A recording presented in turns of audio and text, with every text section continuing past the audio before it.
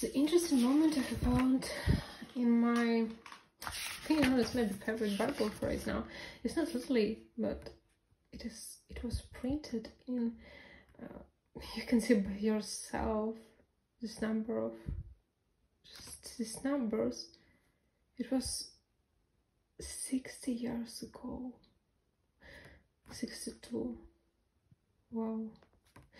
And you know, I was always dreaming about studying in Oxford, Cambridge, and you can see it. Was printed, so I, I've noticed it only right now. I mean, I have remembered it only right now. Maybe I have noticed it before, but now I think not only now that you can see also by yourself. Printed in Great Britain as a University Press, Oxford. It is just wow. And uh, syndics of the Cambridge University It's just listen. Bible. New Testament, okay. New Testament. I don't know exactly which version it is. I don't actually, I mean, I can read the New English Bible, but I'm not sure, like, have I read it at least one time in electrical version?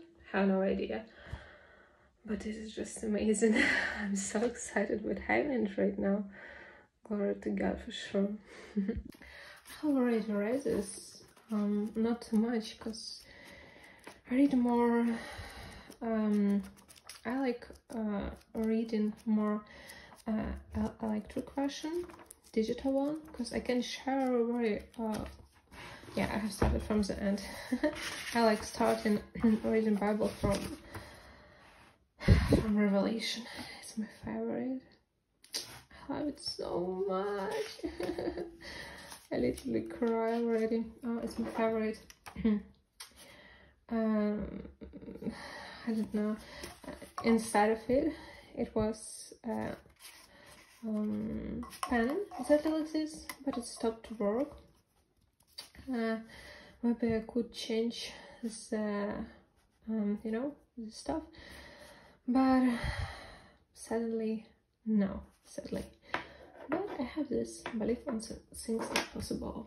And also this, this was a gift um, present from Women's Congress. I will go stay, German one. Stay is day in English.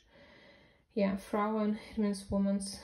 Um, so yeah, I will go, it's like international. yeah. So, let's see what have I um just I would like to write something all the time. God will bless me by having more. Hmm. Blessings will come accidentally.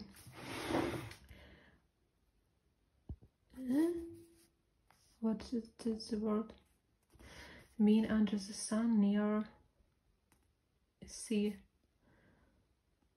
Maybe it's like without.